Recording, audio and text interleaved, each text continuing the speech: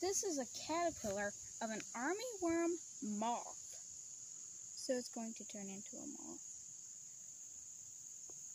And he has been eating on this leaf because you can tell that there's pieces that have been eaten off.